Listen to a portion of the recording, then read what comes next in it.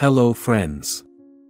One dog in particular stood out when a group of dogs from the congested Habersham County Animal Shelter in Georgia came at the Little Guild in West Cornwall, Connecticut. When chatting to the manager of the Habersham County Shelter, the shelter staff discovered that everyone in Georgia had also recognized Jody's uniqueness.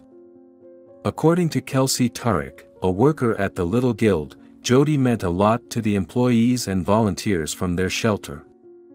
When volunteers learned that we were going to take Jody in and find her a home, they sobbed.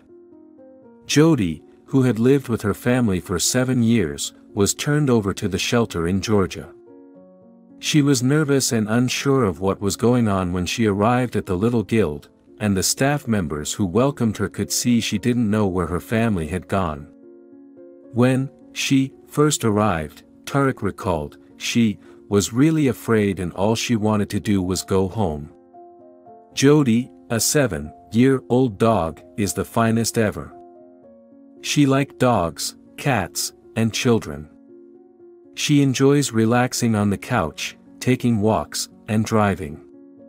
She would make a wonderful addition to your family. Since then, Jody has adapted to her new environment considerably better and formed relationships with staff members and volunteers.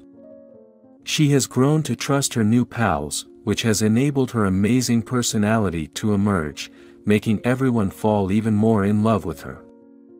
She always wants to be around people and has a wonderful attitude, according to Tarek. She enjoys playing fetch outside as well as cuddling up with you beneath a blanket.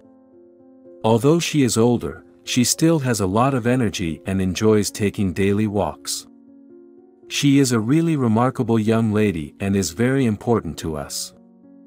It's incredible that Jody hasn't been adopted yet, especially considering how well she would fit in with practically any family. She adores children, cats, and other dogs and truly just wants to spend time with her loved ones whenever she can. She has received interest in adoption and a family is scheduled to meet her, so maybe her search for a home will be completed very soon.